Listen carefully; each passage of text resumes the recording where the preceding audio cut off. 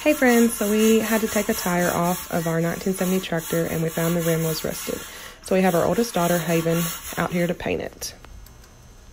Like Bob Ross over here, look.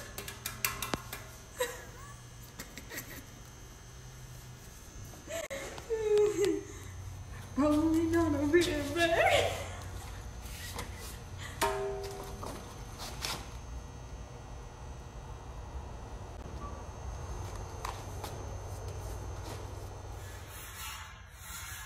So make sure you subscribe and follow for more videos to come.